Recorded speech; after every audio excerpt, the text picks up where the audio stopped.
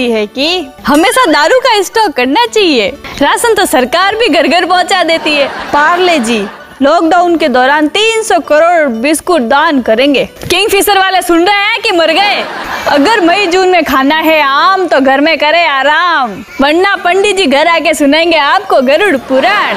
रामायण के एक पात्र की शिक्षा अपने जीवन में उतार ले तो हम कोरोना से जीत सकते हैं। और वो पात्र है कुंभकर्ण। छह महीना तक पड़े रहा। हम भी मछली जैसे हो गए। हाथ लगाओ, डर जाएगी, बाहर निकालो, मर जाएगी। लोग कहते हैं कि चौराहे पर कमाई के लिए खड़ी होती है पुलिस।